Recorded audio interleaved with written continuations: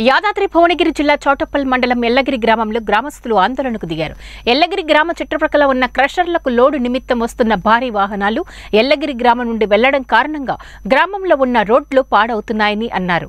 అంతేకాకుండా కంకర లోడుతో ఉన్న వాహనాలపైన ఎటువంటి కవర్ వేయకపోవడం వల్ల వెనక నుండి వచ్చే ద్విచక్ర వాహనదారులకు ఇబ్బంది కలుగుతుందని దుమ్ము కారణంగా శ్వాసకోశ ఇబ్బందులను ఎదురవుతున్నాయని గ్రామస్తులు ఆగ్రహం వ్యక్తం చేస్తున్నారు. వరుసగా ఒక లారీ వెంట మరొకటి వెళుతూ ఉండడంతో రోడ్లపై పెద్ద పెద్ద గుంతలు ఏర్పడుతున్నాయని తెలిపారు.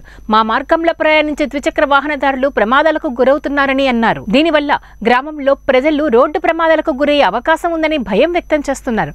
వెంటనే అధికారులు జోక్యం చేసుకుని వాహనాల రాకపోకలకు నివారించాలని తెలిపారు. సెకండ్ చెప్తాను సెకండ్.